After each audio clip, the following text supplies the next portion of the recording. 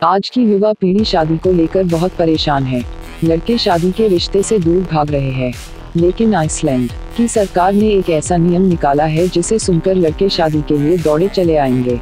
यदि आप शादी कर लेते हैं तो आपको नौकरी करने की ज़रूरत ही नहीं पड़ेगी। एक, यदि आप आइसलैंड की लड़की से शादी करते हैं तो यहाँ की सर, सरकार आपको प्रतिमाह तीन लाख रुपए देगी। इसके साथ ही आपको यहाँ की नागरिकता भी फ्री में मिलेगी। इसके पीछे एक वजह छुपी हुई है। यहाँ पुरुषों की संख्या बहुत कम है जिसके चलते ऐसा किया जा रहा है। दो, लड़का अपनी पसंद की लड़की के साथ यहाँ शादी कर सकता है लेकिन इसके बाद उसे वही रहना होगा। हालाँकि इस बारे में सच्चाई कुछ और ही सामने आई। तीन, आइसलैंड की कई लड़कियों ने भी दूसरे देश के लोगों को फेसबुक पर फ्रेंड रिक्वेस्ट तब भेजना शुरू कर दिया था।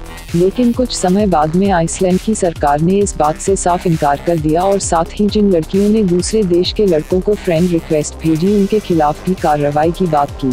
Like comment and share this video and subscribe this channel for more videos